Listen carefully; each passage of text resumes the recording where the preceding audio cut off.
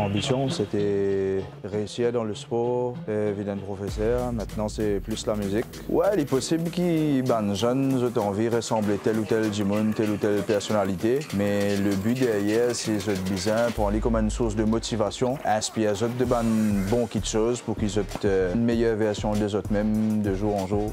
Ça y est dans le sens qu'à la fin, je connais du monde qui entoure moi, c'est eux là par rapport à ma personnalité, ce qui m'ont été. Donc, euh, reste soi-même, dit toujours pour clarifier de l'entourage. Ben, reste même, continue à croire dans notre bonne rêve, dans notre bonne projet, dans notre capacité et continue donne le meilleur de ce thème. C'est une meilleure version de eux même de jour en jour.